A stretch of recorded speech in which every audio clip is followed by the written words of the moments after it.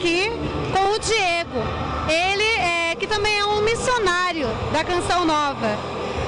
Boa noite, Diego. Muito obrigada pela sua colaboração aqui com a gente. Boa noite, boa noite ao pessoal da Pascom, boa noite a você que está assistindo aí essa gravação. É muito legal ter trabalhos de igreja na comunicação, porque a gente sabe que o evangelho precisa ser proclamado nos telhados.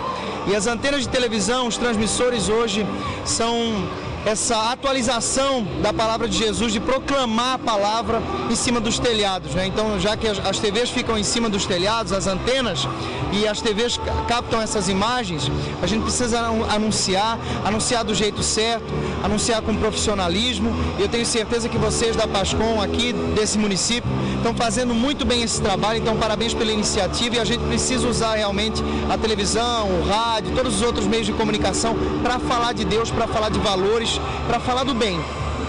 É isso